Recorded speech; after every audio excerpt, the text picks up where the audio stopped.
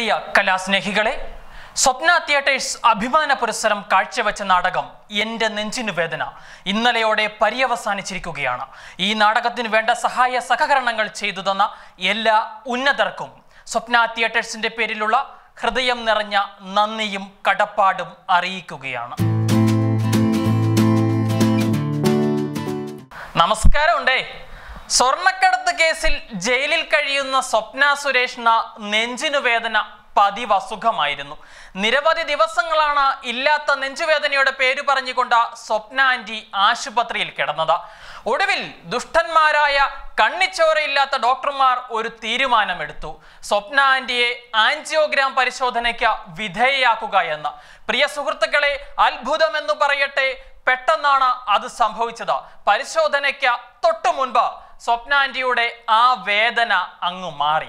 ഇത് മഹാ അത്ഭുതമാണ് പ്രിയ സുഹൃത്തുക്കളെ. ഇതെങ്ങനെ സംഭവിച്ചു എന്ന മെഡിക്കൽ ലോകം പോലും ഇപ്പോഴും അന്തം വിട്ടിരിക്കുകയാണ്.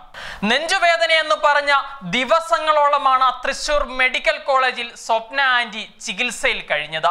ആൻജിയോഗ്രാം പരിശോധനയ്ക്ക് തൊട്ടു മുൻപ് സ്വപ്ന വിസമ്മതം അറിയിക്കുകയായിരുന്നു. ആൻജിയോഗ്രാം പരിശോധനയ്ക്ക് സമ്മതപത്രം ഒപ്പിട്ടു വാങ്ങാനെത്തിയ മെഡിക്കൽ സംഘത്തോട് അഞ്ച് മിനിറ്റ് മുമ്പ് എന്റെ നെഞ്ചിന് വേദന മാറിയെന്നും അതുകൊണ്ട് ഇപ്പോൾ പരിശോധന വേണ്ടെന്നുമാണ് സ്വപ്ന ആന്റി പറഞ്ഞത്.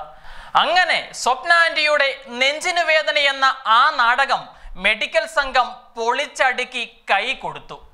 അതിനിടയിൽ സ്വപ്നയ്ക്ക് കാര്യമായ ആരോഗ്യ പ്രശ്നങ്ങളില്ല എന്ന മെഡിക്കൽ ബോർഡ് വീണ്ടും സ്ഥിരീകരിച്ചു. കഴിഞ്ഞ ദിവസം ഒന്ന് സ്ഥിരീകരിച്ചതാണ് ഇന്നലെ വീണ്ടും സ്ഥിരീകരിച്ചത് സ്ഥിര ശല്യമായപ്പോൾ തുടർന്ന് സ്വപ്നയെയും വയറുവേദന ഉണ്ടെന്ന് പറഞ്ഞ് ആശുപത്രിയിൽ കൊണ്ടുവന്ന കെ ടി രമീസിനെയും ജയിലിലേക്ക് തിരിച്ചയച്ചു. എന്തൊരു യാദൃശികമാണെന്ന് നോക്കണേ. സ്വപ്നയ്ക്ക് നെഞ്ചുവേദന വരുന്നു കെ ടി രമേശിന് വയറുവേദന വരുന്നു. കെ ടി രമേശിന് വയറുവേദന വരുമ്പോൾ സ്വപ്നയ്ക്ക് നെഞ്ചിന് വേദന അവിടെ വയറുവേദന ഇവിടെ നെഞ്ചിന് വേദന.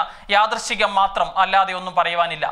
സ്വപ്ന ചേച്ചിയെ രണ്ടാമതും ആശുപത്രിയിൽ എത്തിച്ചതിന് പിന്നാലെ ഇ സി ജി എക്കോ പരിശോധനകൾ നടത്തിയിരുന്നെങ്കിലും കാര്യമായ പ്രശ്നങ്ങളൊന്നും കണ്ടെത്താനായില്ല. ഡിസ്ചാർജ് ചെയ്യാൻ ഡോക്ടർമാർ ഒരുങ്ങുമ്പോൾ അയ്യോ എനിക്ക് നെഞ്ചിന് വേദന എടുക്കുന്ന എന്ന് പറഞ്ഞുകൊണ്ട് സ്വപ്ന ആന്റി വീണ്ടും ബഹളമുണ്ടാക്കും. ഇതോടെയാണ് ആൻജിയോഗ്രാം പരിശോധന നടത്തിക്കളയാമെന്ന് ഡോക്ടർമാർ തീരുമാനിച്ചത്. പ്രിയ സുഹൃത്തുക്കളെ ഇതിനുശേഷമാണ് കഥയിൽ വലിയൊരു ട്വിസ്റ്റ് ഉണ്ടായത്. സ്വപ്നയുടെ ആശുപത്രിവാസം നാടകമായിരുന്നുവെന്ന് ജയിൽ വകുപ്പ് കണ്ടെത്തിയിരിക്കുകയാണ്. വലിയ കണ്ടുപിടുത്തം തന്നെയാണ്. കാരണം ഇവിടുത്തെ കൊച്ചുകുട്ടികൾക്ക് പോലും ഇന്നലെ വരെ അറിയാമായിരുന്ന ആ സത്യം ജയിൽ വകുപ്പ് ഇന്നലെ കണ്ടെത്തിയിരിക്കുകയാണ്.